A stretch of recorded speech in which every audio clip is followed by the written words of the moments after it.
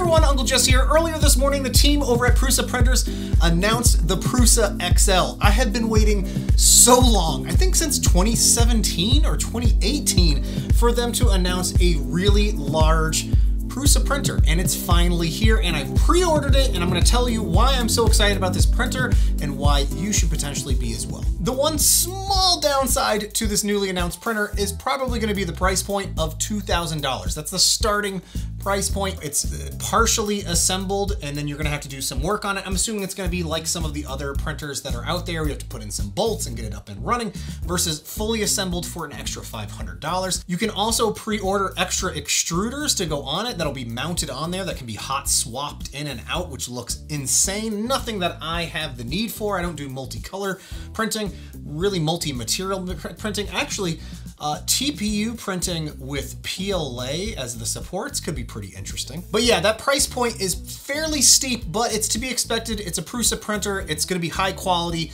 They have an amazing support team. I've gone through their actual support a number of times and they're incredible. And not to mention, they have tons of updates that are regularly provided to their machines, firmware, uh, hardware, and profiles through Prusa Slicer. Prusa Slicer's continually updated, so that money is going towards funding these amazing projects. Also, it's not like some of the other printers that you buy that it's like once you have it, that's basically it, and then you have to count on the community for making mods and updates to that particular printer. And a big thank you to the Prusa team for releasing the XL pre-order before Black Friday. I was intending on buying the SLS1S, whatever the new high-speed resin printer is, so that I could show that off here and do a whole bunch of comparisons between other printers. But uh, I'm putting the two grand for that machine towards the XL so that I can show off some amazing helmet prints. And obviously the big thing that I'm excited about is the potential to print really large cosplay items on that build plate of that printer. It has a build volume of 36 by 36 centimeters, did I say that three times? And then 14 by 14 by 14 inches for those of you in the US. That's easily large enough to print most helmets or other cosplay items that you might be printing with.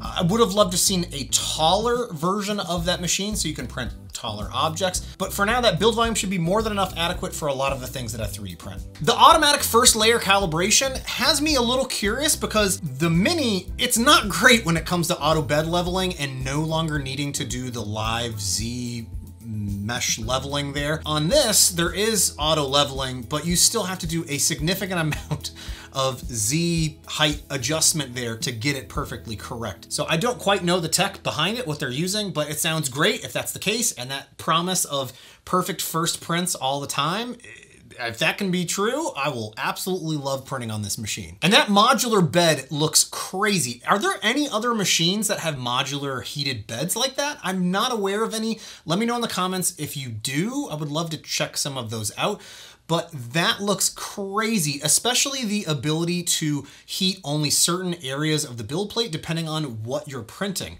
Uh, that's fantastic because I love printing big things, but I also like printing really small things as well, like Xbox controller ad adapters on a CR10 where I have to heat the entire bed and that takes minutes to heat up. Whereas if I'm only heating up one or two of those build plates, I'm assuming the heat time, the heat up for that versus the entire bed is gonna be a lot faster. Also that visual of the uniform heat dispersion there across the build plates versus the entire large build plate. For anybody that's worked even on a smaller printer like the Mini here, having it heated properly in the sides of the bed is probably one of the larger challenges of printing big things or the full build volume of your printer. So hopefully this will really address that on these larger machines. And I wouldn't be surprised if we start seeing that modular heated bed style starting to pop up in some other areas. Small note, the expansion joints, I have no idea exactly what that is or how that works.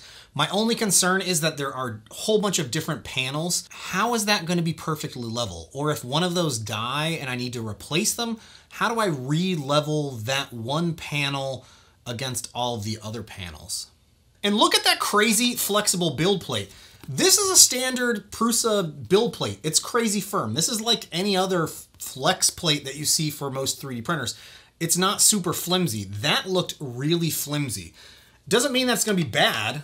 I'm just questioning if I print a whole bunch of small things on that build plate and it's super flimsy like that, as soon as I go to lift it off, are all of the parts just gonna go flying off the build plate? and maybe that super flexible build plate is needed to account for all of those different heat panels. All right, let's talk about that Nextruder, or as I like to call it, the MakerBot Smart Extruder. That's right.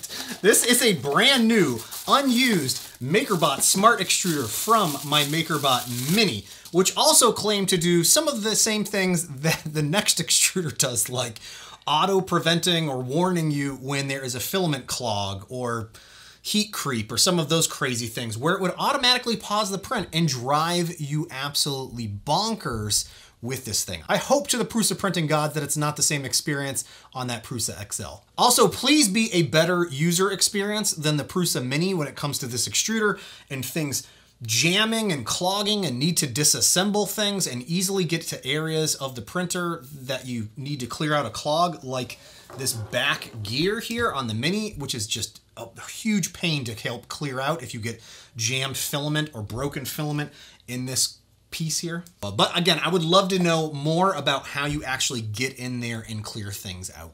And those side mounted spools, that's a nice touch as well. Hate them on the back, not a big fan of them on the top. On the side, perfectly good with that. There's two of them there, obviously, for the multi extruders. But did you notice there's a regular spool and then a supersized spool? Because of that crazy extra driver motor there, I'm really excited about that because it should provide a better flow of your filament into the actual extruder. If you're using a bigger printer, I love using those huge what are they, 10 pound spools of filament? They're massive that you can get from Zealtech.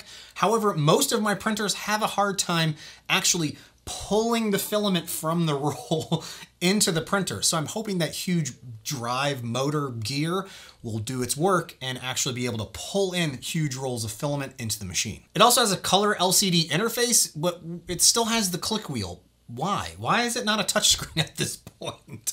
Also, I'm noticing the click wheel is right next to the reset button, which is the same as on here on the Prusa Mini. And I can't tell you how many times I've gone through and was using this wheel and my finger slipped and I clicked the reset button. It drives me nuts. Why can't the reset button be on the side of the panel? And the one I think everybody's gonna be in love with are the Color Smart RGBs.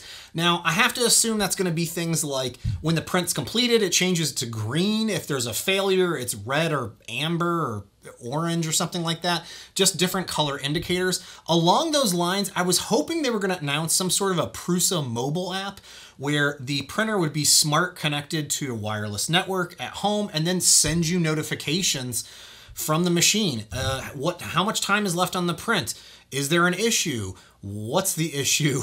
Not needing to be able to start or download STL files and load those onto the machine and start them and you know slice them from your mobile app. Nothing crazy like that, but just having basic notifications to your mobile device from the printer would be very cool. Actually, I wonder if Prusa Connect can do all that. Also, is that a foldable enclosure on the printer? That's pretty crazy. But it sounds like there's gonna be some more options for upgrades for the machine coming before it releases sometime in Q2 or 3 of next year. It's probably gonna be more like Q3 or 4, depending on when you've pre-ordered the machine.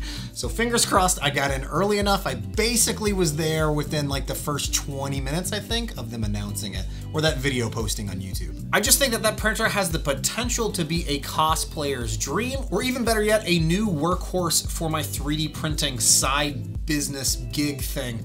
I know the Prusa Mini has printed well over 1,000 of those Xbox steering wheel controller adapters, which is pretty impressive for this tiny machine. If you're interested in more information or pre-ordering the Prusa XL, I'll have a link down below, which also is an affiliate link and helps out the channel here. So thank you if you consider using or buying anything with that link down below. Hey, but let me know in the comments if you thought the XL mm, hit the mark or was wildly off and why. I'm interested in hearing more on your thoughts down below. Hey, thanks so much for watching and I'll see you next time. Bye now. I've been saying I'm gonna do this for a while, but I think next month in December, I'll do a follow-up review on my Prusa Mini, just discussing the ins and outs of the issues that I've had with the unit that I bought when it first came out. Stupidly nice prints, but it can be kind of painful to work with.